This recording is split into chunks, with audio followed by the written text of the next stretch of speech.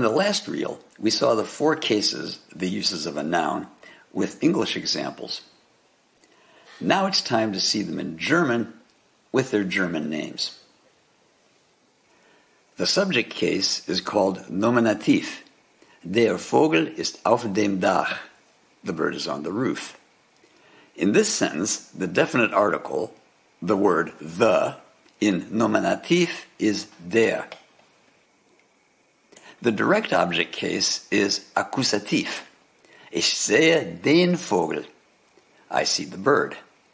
The definite article changes to den in Akkusativ. Indirect object case, Dativ, brings another change. Ich gebe dem Vogel etwas Wasser. I give the bird some water. And finally, in possessive, Genitiv, yet another form.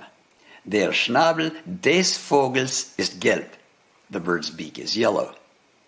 Notice that the noun gets an S at the end. Here's a table that shows how the definite article changes in the four cases.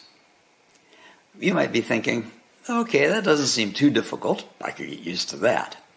But wait, there's more, and we're going to talk about that in the next reels. Stay tuned.